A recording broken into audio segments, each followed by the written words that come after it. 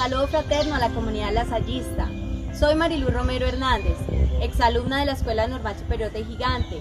Hoy, como madre de familia, quiero dar las gracias a nuestra comunidad lasallista, a nuestros docentes, quienes con su esfuerzo, sentido de pertenencia, dedicación, han hecho en estos tiempos de pandemia que el proceso de mm, formación integral en nuestros hijos sea excelente, sea exacto, con cada uno de los proyectos que se han instalado en nuestra escuela, Tiberlandia, el Bibliobús, proyectos productivos han hecho o han motivado que nuestros niños estén en este proceso de formación muy felices.